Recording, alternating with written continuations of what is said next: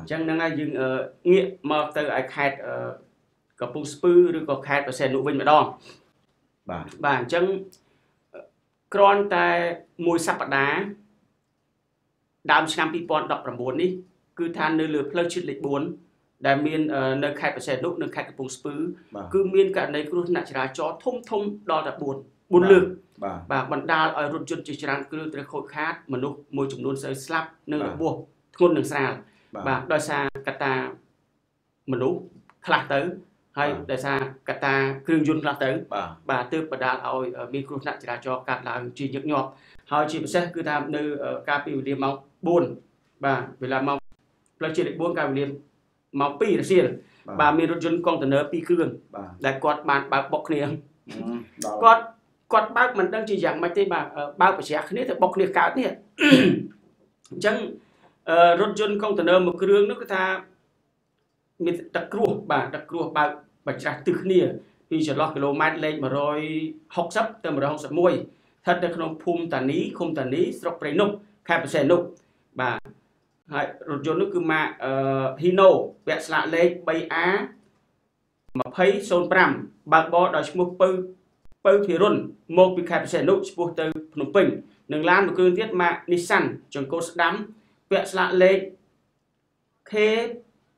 KPS 0251អ្នកបើកបរមិនស្គាល់អត្តសញ្ញាណទេដែលគាត់បើកកុងតឺន័រអឺបើកហើយក៏បើករថបាត់ទៅបាទអញ្ចឹងអ្នកឃើញហេតុការណ៍បាននិយាយថាម្ចាស់ឬក៏តកងឡានទាំងពីរហ្នឹងគាត់ប្រហើនដូចគ្នា បាទអត់ងាកបាទមិនព្រមងាកឲ្យឆ្ងាយពីគ្នាទេឃើញមកហើយគឺថាម្នាក់ម្នាក់ចេះខ្លាំងជាងខ្លួនប៉ុន្តែមិនដឹងគាត់ខ្លាំងយ៉ាងអីទេអញ្ចឹងហើយបានគេសង្ស័យថាអ្នកបើករថយន្តធំធំហ្នឹងពេលខ្លះអ្នកហ្នឹងសិតតែអ្នកប្រើប្រាស់ឆ្នាំញៀនបាទបាទហើយលោកពុតមានអីទៅបំពេញបន្ថែមអីរឿងបញ្ហាគ្រោះថ្នាក់ចរាចរណ៍នេះលោកចតាដូចជាញឹកញយណាដើមឆ្នាំ2019នេះនៅខេត្តប្រសេនុជាការចាប់ផ្ដើមបន្តមកទៀតកំពង់ស្ពឺកំពង់ស្ពឺឥឡូវទៅព្រៃនប់ខេត្តប្រសេនុទៀតហើយបាទអឺខ្ញុំនៅតែសំណូមពរយកមតិរបស់ប្រជាពលរដ្ឋនៅក្នុងគំនិត កម្មវិធីគំនិតរាជនេះគឺសំណូមពរទៅដល់រដ្ឋាភិបាលក្រសួងស្ថាប័នពាក់ព័ន្ធនិងអាជ្ញាធររាជធានីខេត្តគឺបញ្ហាត្រួតពិនិត្យបច្ចេកទេសរថយន្តនេះអឺត្រូវតែត្រួតពិនិត្យព្រោះយើងមានក្រសួងសាធារណការមានក្រុមហ៊ុនឈៀករថយន្តអញ្ចឹងយើងត្រូវត្រួតពិនិត្យឲ្យបានជាប់ជាប្រចាំកុំទៅបិទតតែមឲ្យចេញទៅវិញរថយន្តគ្មានការលក្ខណៈបច្ចេកទេសល្អប្រសើរនោះគឺខ្ញុំសំណូមពរចំណុចទី1នៅសំណូមពរទៀតពីព្រោះគ្រោះថ្នាក់នេះសិតតែរថយន្តធំ ហើយរថយន្តហ្នឹងគឺអឺมันមានលក្ខណៈបច្ចេកទេសច្បាស់លាស់ទេបានគ្រោះថ្នាក់ហើយរបៀបអញ្ចឹងទី2គឺសំណុំពរឲ្យសមត្ថកិច្ចត្រួតពិនិត្យលើសមត្ថភាពអ្នកបើកបរផងជួនណាគាត់ក្មេងពេកគាត់ក្មេងពេកគាត់ទៅទិញបានបើកបរគាត់មិនបានរៀនគាត់មិនបានប្រឡងច្បាស់លាស់ធ្វើឲ្យសមត្ថភាពនៃការគ្រប់គ្រងលើការបើកបរហ្នឹងគឺមិនមានទេដោយកើតបញ្ហាឡើងអញ្ចឹងគាត់ខ្វះសមត្ថសមត្ថភាព ខ្វះក្នុងការ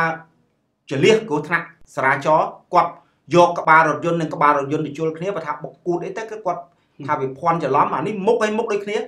សំណុំពរទី3សូមឲ្យអឺដំបូងគឺម្ចាស់ក្រុមហ៊ុននឹងតែម្ដងក្នុងមួយខែយ៉ាងតិចត្រួតពិនិត្យសុខភាពអ្នកបើកបររថយន្តជាពិសេសគឺការពាក់ព័ន្ធគ្រឿងញៀនតែម្ដងបាទហើយសមត្ថកិច្ចឥឡូវហ្នឹងក៏ងាយដែរដាក់ប៉ុស្តិ៍ត្រួតពិនិត្យគឺត្រួតពិនិត្យឆែក គ្រឿងញៀនឆែកទឹកនោមគាត់ភ្លាមតែម្ដងព្រោះអាហ្នឹងអត់បាច់ចាំបញ្ជូនទៅដល់មន្ទីរពេទ្យទេអាឆែកទឹកនោមហ្នឹងគឺអាចដឹងហ្នឹងពេលដែលគាត់ពាក់ព័ន្ធគ្រឿងញៀនសុំគាត់កុំបើកបរហៅទៅក្រុមហ៊ុនហ្នឹងមកយកអ្នកបើកបរគាត់យកទៅគឺមិនលែងទេឲ្យគាត់យកទៅមណ្ឌលប្រសាទគ្រឿងញៀនបើចង់ឲ្យបើកបររថយន្តនៅក្នុងក្រុងនឹងរដ្ឋព្រោះវាឃើញថាគ្រោះថ្នាក់នេះ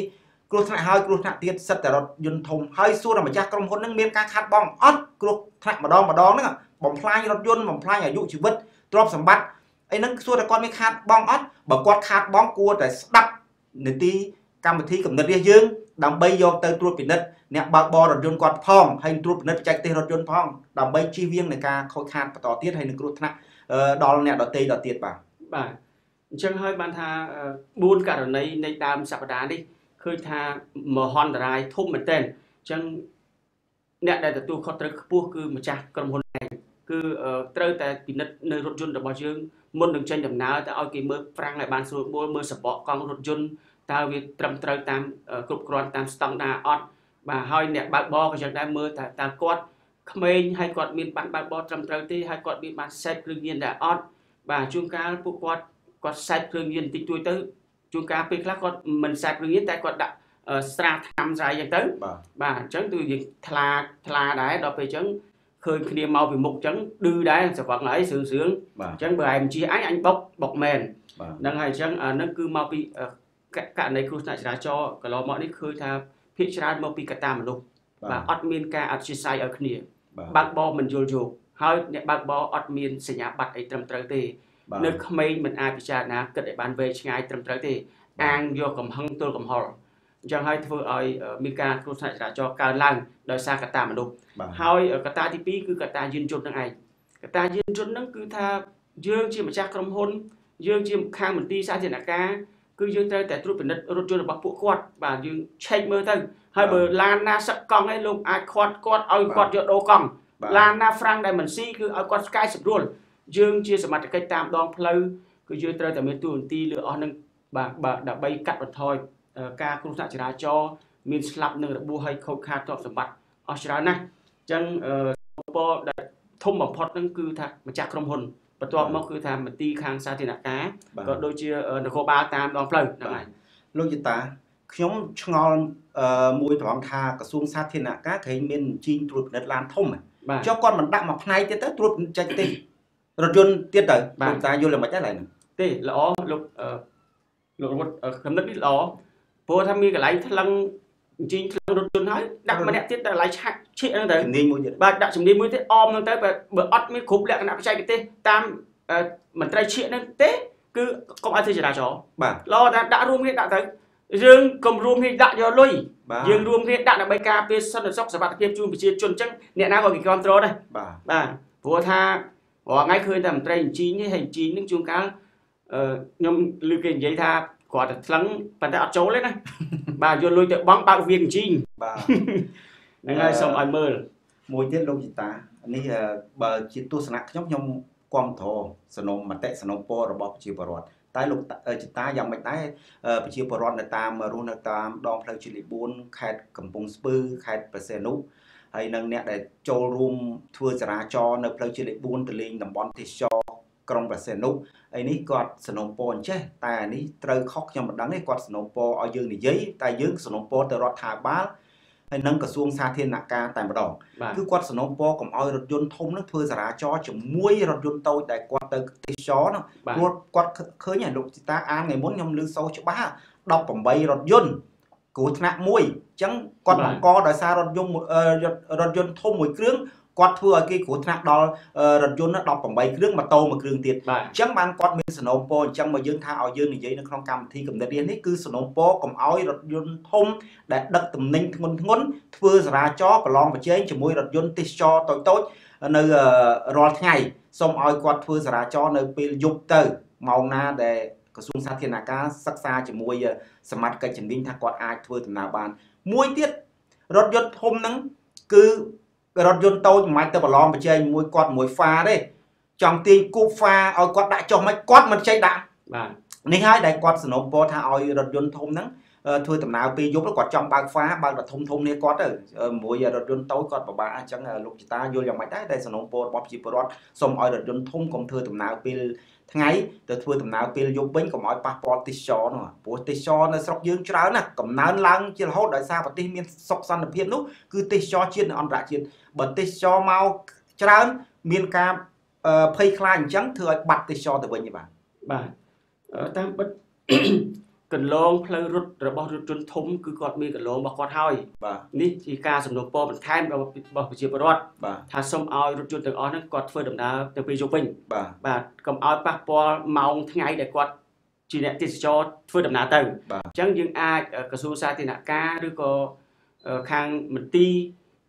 គួរតែពិនិត្យមើលថាតើឲ្យគាត់ គួរតែចេញនៅពេលយប់ឬក៏នៅពេលណាបាទបាទជាការសនុពររបស់ប្រជាពលរដ្ឋអ្នកដំណើរគឺគាត់និយាយចឹងហើយគាត់ថាសូមឲ្យរថយន្តទាំងអស់នោះធ្វើដំណើរទៅពេលយប់ទៅពេលថ្ងៃគឺមិនបាច់ឲ្យគាត់ធ្វើចរាចរណ៍ទេគឺថាទុកឲ្យតែក្រុមអ្នកទេសចរអ្នកមន្ត្រីរាជការអីទៅធ្វើការរស់ស៊ីទៅបានហើយមានឡានតូចៗហ្នឹងដោយឡែកសម្រាប់ឡានដឹកជញ្ជូនធំធំហ្នឹងគឺគាត់សូមឲ្យធ្វើដំណើរនៅពេលយប់អញ្ចឹងនេះគឺជាភារកិច្ចហ្នឹងគឺជារបស់អាជ្ញាធរទេនេះយើងគ្រាន់តែ ធ្វើសំណើបាទទៅតាមប្រជាពលរដ្ឋគាត់បានប្រាប់យើងសូមឲ្យជួយផ្សព្វផ្សាយពីព័ត៌មានហ្នឹងអញ្ចឹងការសម្រេចបែបណានោះគឺទៅខាងលោករដ្ឋមន្ត្រីក្រសួងសាធារណការ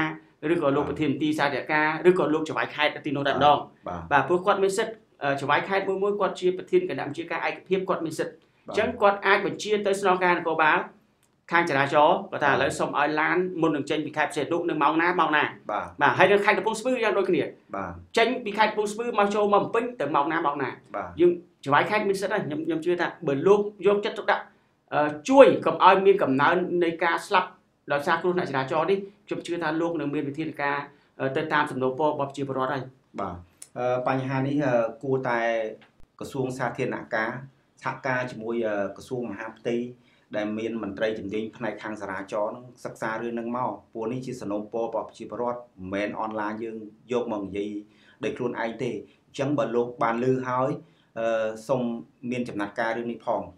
បញ្ហារថយន្តធ្វើដំណើរជាមួយរថយន្តតូចហើយមានគ្រោះថ្នាក់ជាបន្តបន្ទាប់អញ្ចឹងធ្វើឲ្យបាត់បង់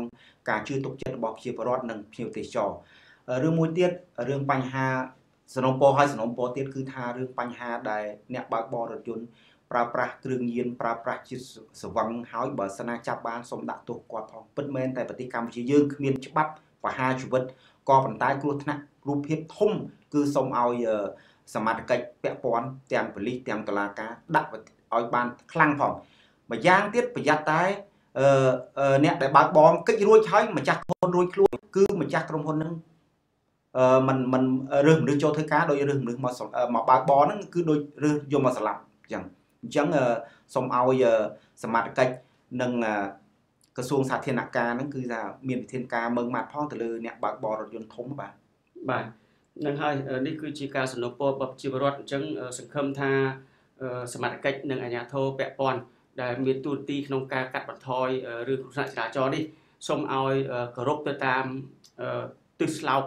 ឬក៏ពាក្យស្លោករបស់សម្ដេចតេជោក៏ដាក់ថាថ្ងៃនេះថ្ងៃស្អែកគ្មានគ្រោះថ្នាក់ចរាចរណ៍ណានឹងហើយអញ្ចឹងអ្វីអ្វីយើងទៅតែចូលរួមគ្នាដើម្បីរកនៅវិធីណាមួយដែលល្អអញ្ចឹងសង្ឃឹមថាអស់លោករកវិធីណាដែលល្អបើប្រជាជនសំណូមពរទៅបើខាងយល់ឃើញដែលល្អយកទៅអនុវត្តទៅប៉ុន្តែបើសិនតែលើកមកហេតុផលមិនសមរម្យក៏លោកមិនបាច់ធ្វើទេក៏បានដែរបាទ ព្រោះនេះជាសំណុំពររបស់ប្រជាពលរដ្ឋបាទអឺខ្ញុំសូមបន្ថែមចំណុចចុងក្រោយពីបញ្ហាគ្រោះថ្នាក់ចរាចរណ៍សំណុំពរទៅដល់អ្នកដែលកាន់ page Facebook របស់សម្ដេចតែម្ដងគឺសូមបើករឿងហ្នឹងឲ្យសម្ដេចបានជ្រាបផងដើម្បីលោកមានចំណាត់ការលោកចេញអនុសាសន៍មកដល់ក្រសួងពាក់ព័ន្ធនឹងអាជ្ញាធរពីព្រោះគ្រោះថ្នាក់ផ្ទួនផ្ទួន3លើកហើយមិនទាន់មានចំណាត់ការអីនៅតែគ្រោះថ្នាក់តរទៀនអញ្ចឹងសូមឲ្យអ្នកកាន់ page Facebook របស់សម្ដេចហ្នឹង គឺបញ្ជូនព័ត៌មាននេះជូនសម្ដេចទៅជួជ្រាបផងដើម្បីលោកមានអនុសាសន៍ហើយនឹងក្រសួងស្ថាប័នចំណាត់ការ